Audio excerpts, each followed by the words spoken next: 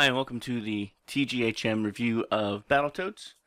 So, as always, we're going to cover the five basic areas the audios, the visuals, the gameplay, something good, something bad, and my overall opinion. I'll give it a couple thumbs up or down or whatever. Um, let's see. So, as always, we're going to start with kind of the developer description. Uh, the wait is over. Rash, Zitz, and Pimple are returning to the last, at last, to smash hit their way through all new action packed adventure of choreographed chaos and couch co op may never be the same again. One to three players, well, you get the idea. So, um, you can play up to three players. This is available on Xbox Game Pass. This actually came out in August 19th, 2020. It takes about 10 gigs. Um, published by Xbox Game Studios. So, let's go ahead and get started, shall we?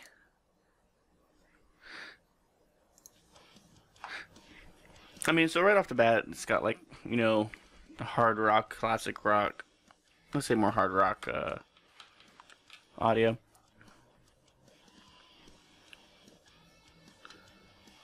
Okay. All right, so we got pimple, rash, and zit. Now, if you ever played like the original Battletoads on the NES, this looked nothing like it. It looks like they went with like a very cel-shaded looking game. I like the sunglasses. Let's go ahead and select uh, Rash.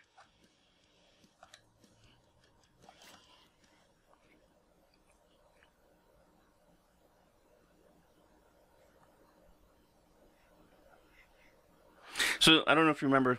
So Battletoads used to be very notorious for their speeder bike challenge, and the game was just really hard originally.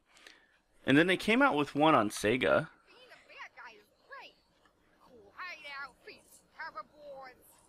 And no one can tell me to wear a shirt. Oh no! It's the mega famous Battletoads, including Zitz, the leader, Pimple, the strong one, and Rash, the sunglasses one. Don't forget Best Kisser. Enough talk. It's time to. Best kisser? Why are you the best kisser? Wow. Uh, maybe because I practice on my hand all the time. That just means you're the best at kissing your hand. Come on, there's more girls outside.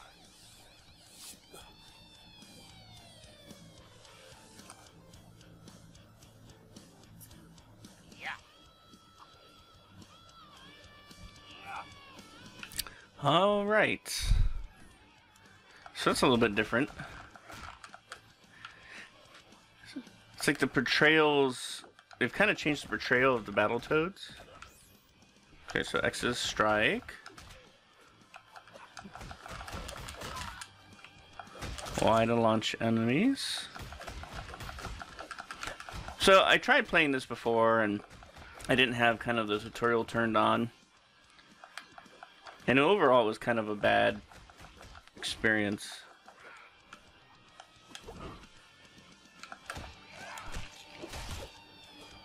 Okay, so X then B does that. Oh, that uses up life, so let's not keep doing that.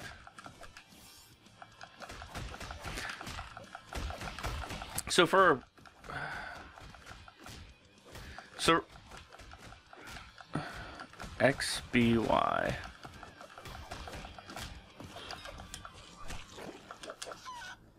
Okay. So overall, like audio wise, I think the fighting um, sounds in this game actually kind of take away from the soundtrack. I think it it's just so loud the punches. Okay. Hold A to dismiss. So, yep, training me how to smash defense. So the tutorial's okay.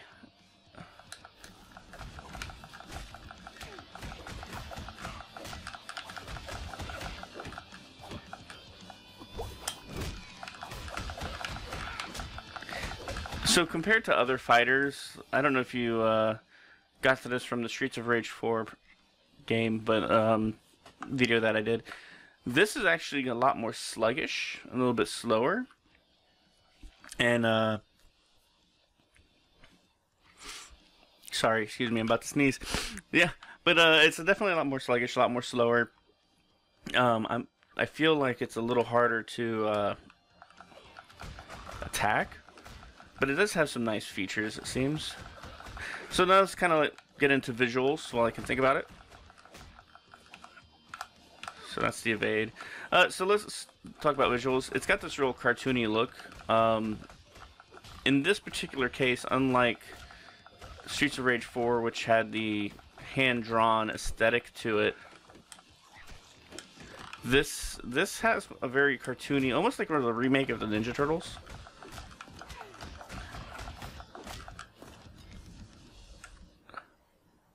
Flies and collectibles. Left trigger Y plus L.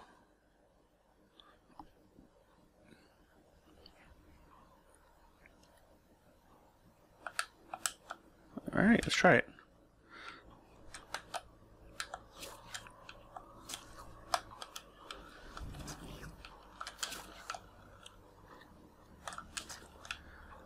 Okay, so yeah, so that's how you heal.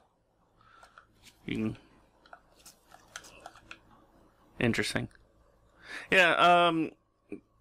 So visually, I'm not a fan of this this style. I really enjoyed the Streets of Rage 4 version better, so definitely check that out. Um, this is cartoony, but this has kind of got that modern Ninja Turtle look to it. And it's really colorful.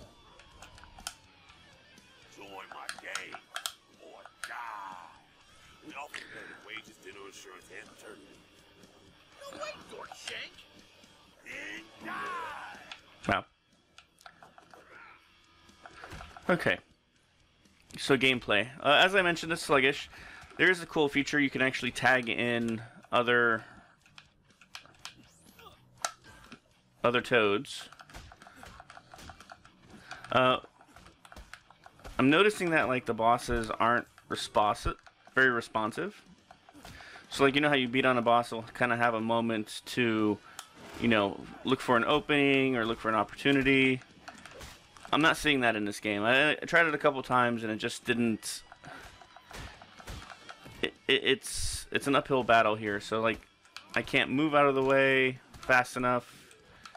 Um, even kind of with the dodging abilities. So yeah, dodging doesn't isn't very responsive. Well, nice feature if you're playing solo. Um, it will swap out your character, and it kind of puts them on a tag out timer. So you don't really have lives, which I've noticed. And that's from what I can see so far.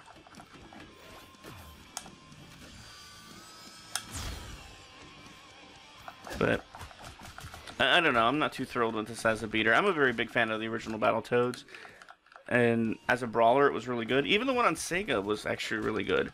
Um, this just feels like it's missing something, and it's just not as responsive. I don't feel like things are connecting. Now you may enjoy this one, but this is definitely not for me.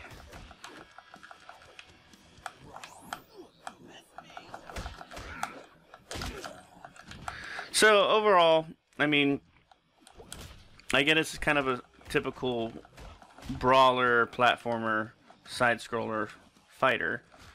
Um, they've added a bunch of wit and humor, a highly stylized cartoon look.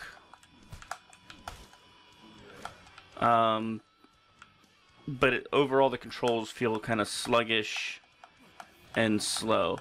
Uh, something good. I love to be able to swap out characters on the fly.